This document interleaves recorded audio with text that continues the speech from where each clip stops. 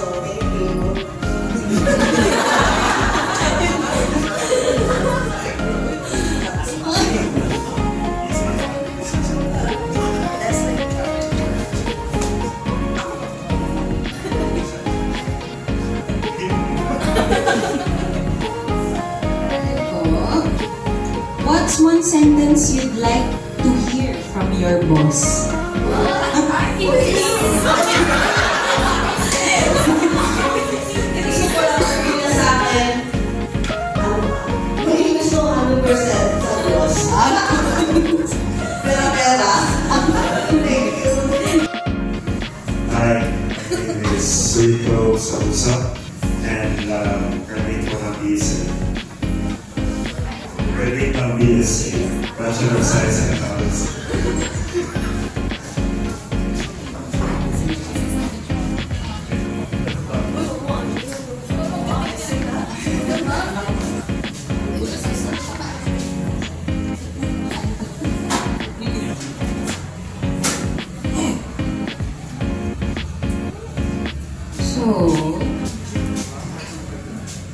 What new position would you like to attain at work? So, kung mamili ka ng position sa company, ano yung gusto mong ma-attain? Pwede isama na lang.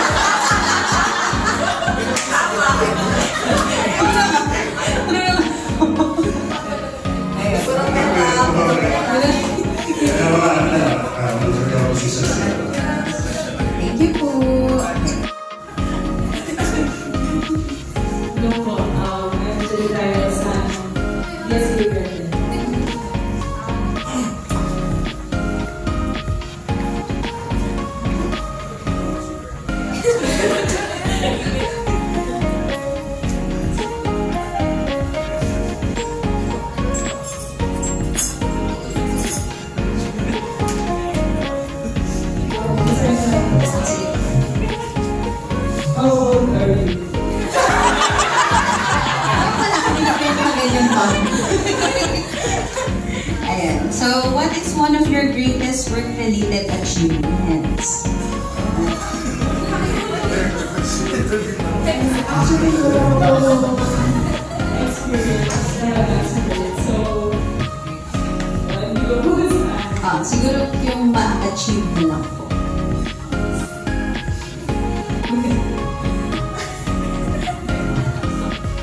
Pagpasa na, nakapasa ng CMB.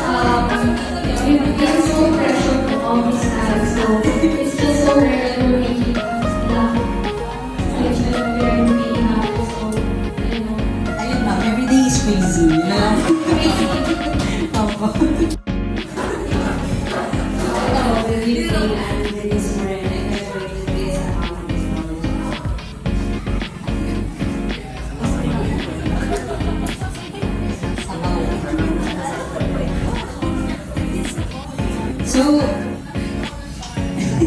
ito, mukhang makaka-relate lahat. So, what's the worst or best vacation like? Or kahit na, ano, kunyari, nag excuse mo to take a vacation or absent. Gano'n. Ano, gawin na gawin na yung peer review. May disciplinary, disciplinary, uh, Ako dat, dati, kasi hindi ko Bunch ng Ito po, greeting, greeting po. Greeting ka alam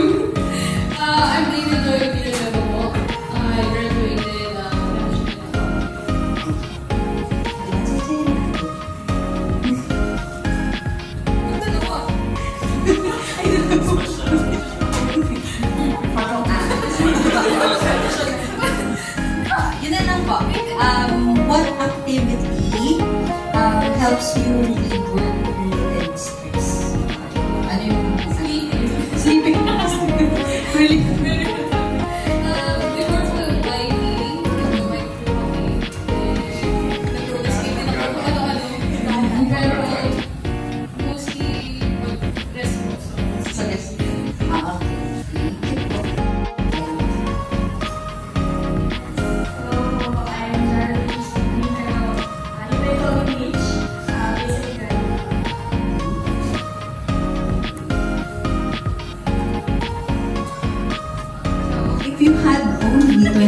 hours.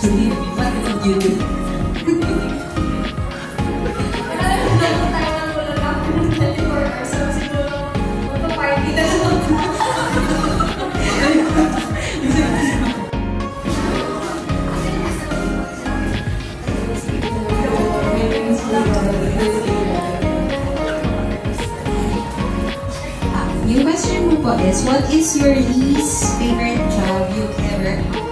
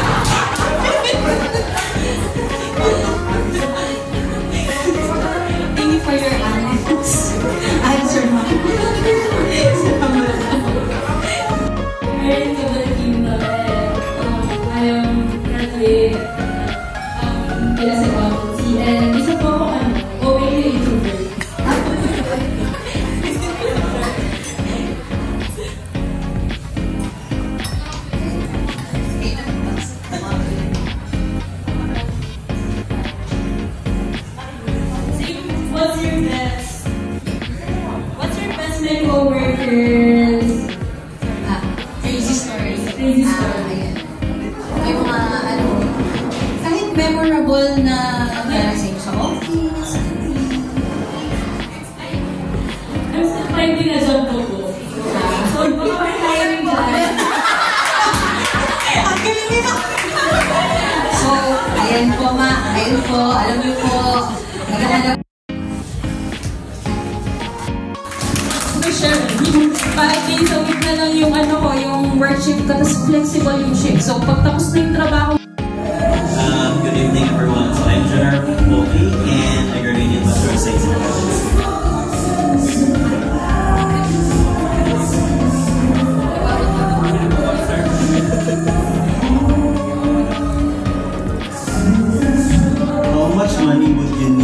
Win to walk away from your current job? Like millions? That's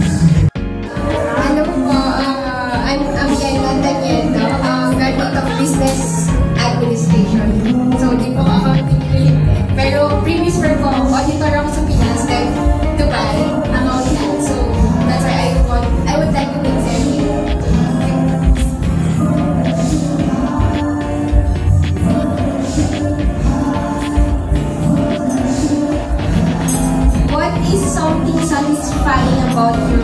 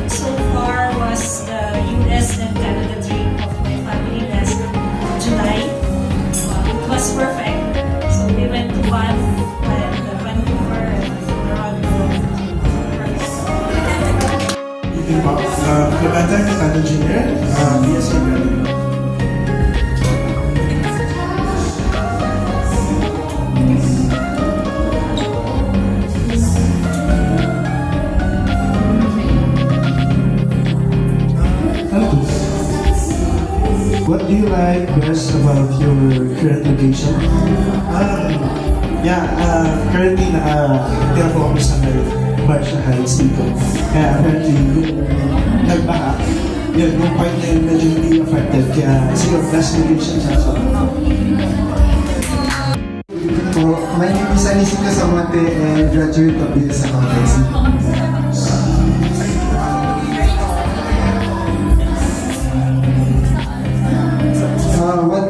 You take in school that helps you with your job? Obviously, accounting. My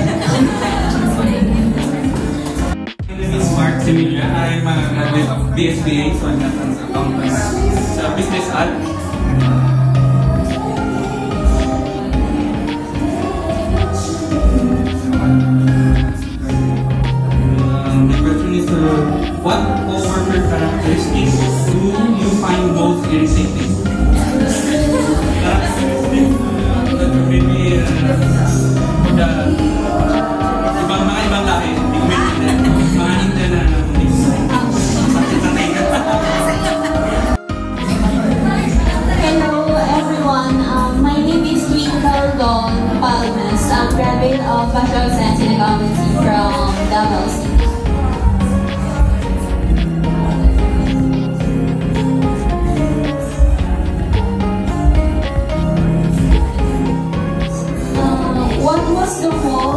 Difficult paycheck you ever earned?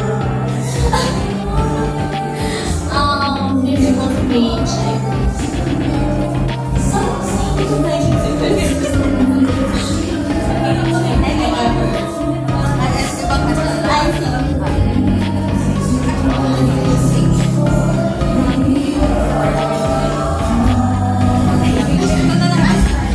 What coworker characteristic do you irritating? Ah, yung hindi marunong magturo. Yung parang sa kanila. Siyempre, di ba, dapat tulungan kasi coworkers. Yeah. Thank you. Hi. Hello po sa inyong lahat. I am E. Fedalco and I'm a graduate of Bachelor of Science in Accountancy.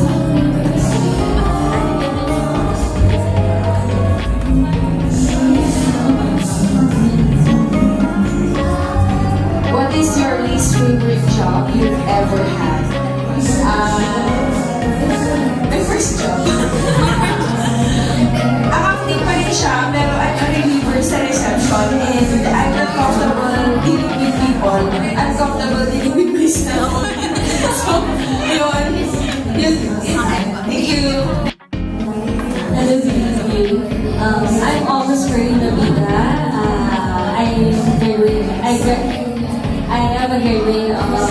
Bachelor in Bachelor of Science in Accounting Technology and Bachelor of Science in Accountancy.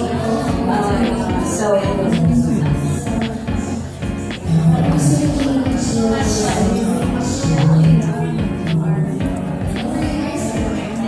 my question is, how much money would you need to win to walk away from your current job? Yeah, same, same answer. I need millions kasi ambisyosa ako. Hello po, my name is Leander Reyes. Um, BS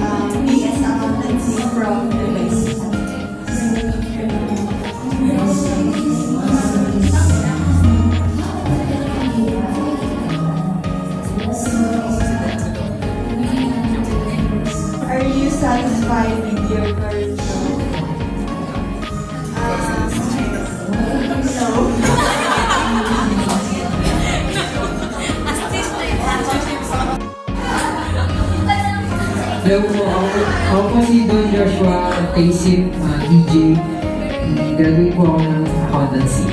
Yan.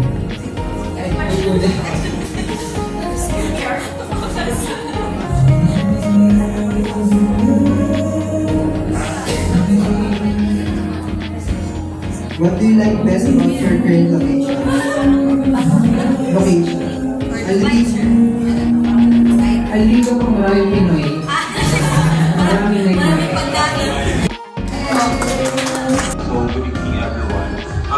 To introduce myself. So, I'm Dave Christian Licabo. So, as you can see on the PowerPoint presentation, um, I'm a certified public accountant in Philippines and I'm also a CMA, so for and PhD doctor. Um, this specific certification, in addition to that, I'm also a graduate of MBA. And I'm also a certified tax technician, if you're aware. Certification sa Philippines is the recent one.